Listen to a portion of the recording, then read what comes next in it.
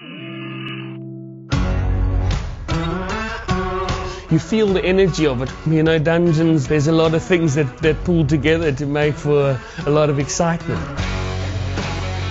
The sea state was pretty wild that day, so so we thought, oh, well, maybe we should try and tow into a few. And then I think old Yuri and Peter were getting a little seasick on their duck, so they thought, no, rather than uh, get seasick, they were going to try and give it a whirl. So Simon said, well, we should pedal then too. So I said, okay, it looks pretty rough. I'll be water safety.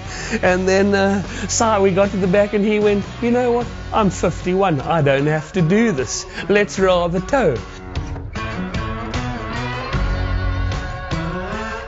You know, it was anything from 12 to 25 foot, and that's pretty hard paddling conditions, you know, when it's that gigantic scale difference.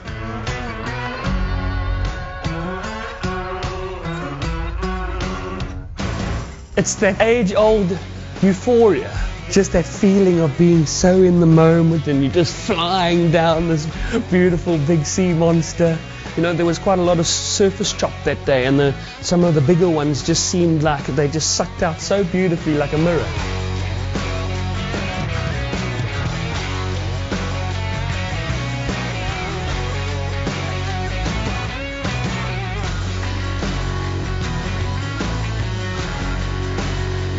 There were a couple of situations that were, yeah, absolutely incredible.